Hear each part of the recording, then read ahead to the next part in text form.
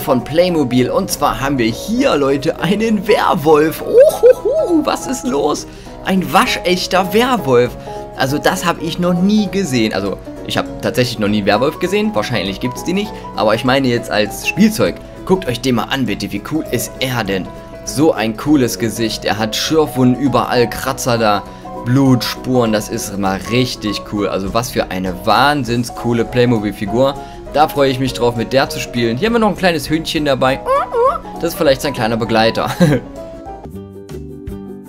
okay, mal schauen, ob wir einen Schatz im Schloss finden. Hm, wie kommt man hier wo rein? Hm, hier vorne ist verschlossen? Wie komme ich denn rein?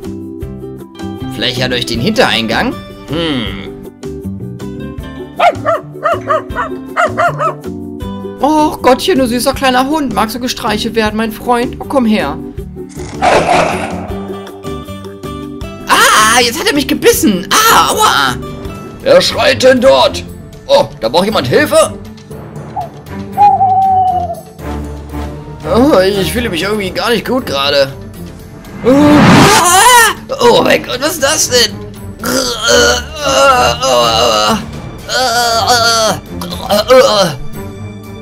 Ähm, hast du das gesehen? Er hat sich verwandelt.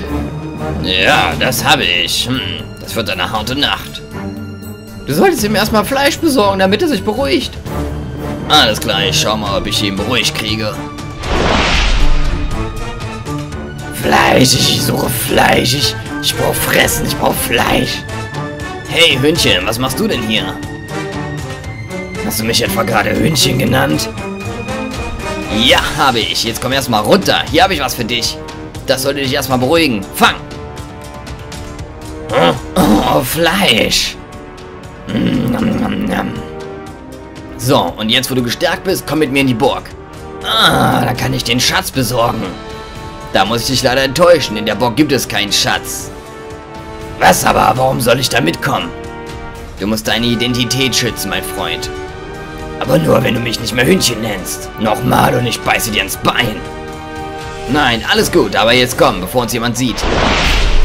Ah, es geschafft. Sie kommt zurück. Ohoho. Dabei ist das seine erste Nacht. Der Vollmond scheint noch lange. Na, das kann ja was werden.